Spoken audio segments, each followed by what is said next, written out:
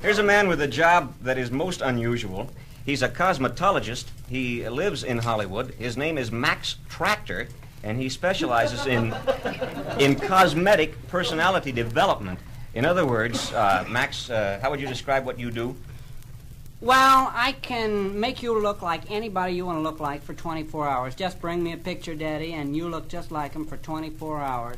Well, who would use this? Give me a for instance. Well, a little old lady, maybe on her 50th wedding anniversary, you know. She wants to give the old man something special, you know. So she comes in that morning and, and I fix her all up. And that night, uh, you know, he comes home on their anniversary and there's Elke Sommer. Wow. Beautiful. Yeah. What a yeah. night, huh? Yeah. The next morning's a little rough. Tell me this, uh, Max. Uh, what is the price, say, for uh, an Elizabeth Taylor?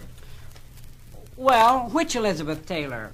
What do you know, mean, which? Well, there, there are three. You know, there's the, the National Velvet Elizabeth Taylor for the senior prom, that kind of thing. Mm-hmm. There's the uh, Cleopatra Elizabeth Taylor, voluptuous, beautiful. And more recently, the uh, Virginia Woolf Elizabeth Taylor. There are three distinct Elizabethan eras. Which which is the most popular? Would you say? Oh, the Cleopatra Elizabeth Taylor is by far the most popular. Sold one this morning Mm-hmm. to Elizabeth Taylor.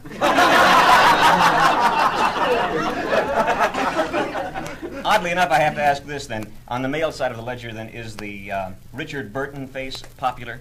It could be, but unfortunately, a lot of people just just can't bring it off. We did do a Burton about three days ago. A very virile guy wanted to go home to Elizabeth Taylor. What did she say about it? Oh, it was one of our Liz Taylors that we had made up. Yeah, uh, worked out fine. They're being married next week by a guy we're going to make up to look like Billy Graham. What's the most difficult face for you to make?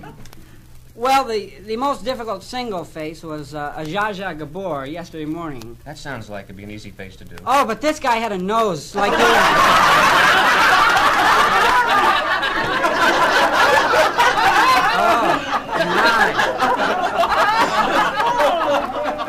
Have you ever made anyone up to look like Lyndon Baines Johnson, our president? Oh, certainly. What do you charge for the LBJ face?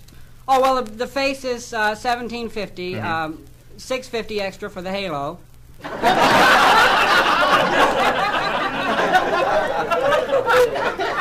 there any other popular political faces? Hubert Humphrey's a very uh, pop, well, common political face.